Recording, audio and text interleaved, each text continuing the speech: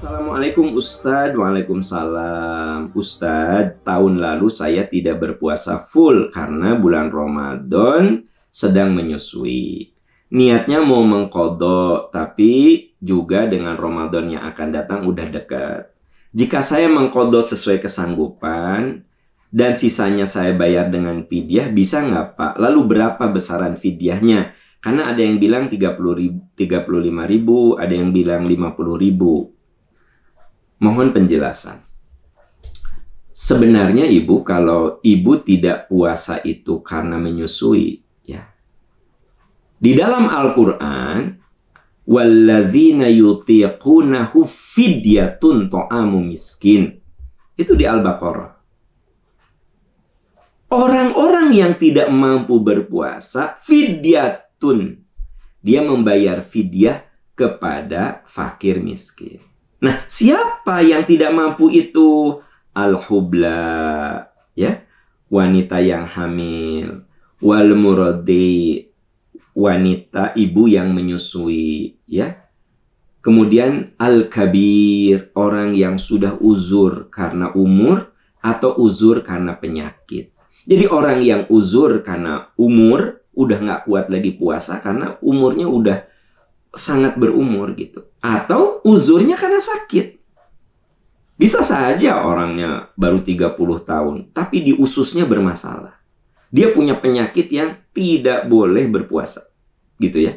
Itu uzur, namanya uzur uzur syar'i ya gitu. Atau al-hubla, wanita hamil. Atau al-murdi' wanita yang menyusui. Maka itu kategorinya fidyatun to'amu miskin memberikan fidyah. Karena menyusui kan bukan sakit. Orang yang bayar kodo itu yang sakit.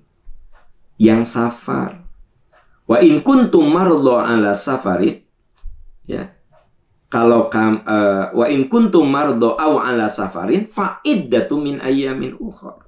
Kalau kamu sakit atau safar, kamu kodok gitu loh. Kalau saya lihat pertanyaan Anda, Anda kan karena menyusui. Ya bayar kodok saja.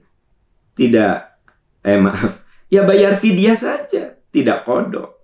Ya, Berapa Anda tidak puasa? 30 hari. Keluarkan fidyah untuk 30 hari. Tapi ada yang bilang 35, ada yang bilang 50. Ya kembali saja kepada kemampuan Anda dan kadar Anda kalau makan. Ya. Nah, kalau ada yang menetapkan 35 itu batas minimal. Orang itu sehari makan boleh jadi cuma 35 ribu. Boleh jadi. Ya. Anggaplah makan pagi ya 5 ribu sarapan. Ya enggak? Makan siang 15 ribu, makan malam 15 ribu. Gitu. Keluarlah angka 35 ribu. Boleh? Ya boleh.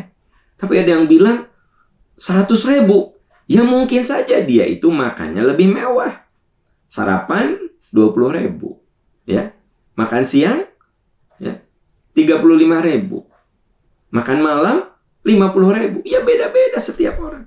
Jadi kalau ada yang menetapkan 35 itu boleh jadi ukuran takaran orang makan yang sedang gitu. Ada nggak yang makannya sehari cuma 10 ribu? Ada, boleh jadi. Boleh jadi ada. Nah, jadi kembali Anda kalau makan kira-kira sehari berapa? Makan pagi, siang, malam. Ah, saya mah Ustadz paling 20 ribu. Ya sudah 20 ribu kali 30 hari Anda tidak puasa. Saya tapi nggak bisa blok gitu semua. Ya nggak apa-apa. Berapa saja dulu. Gitu loh.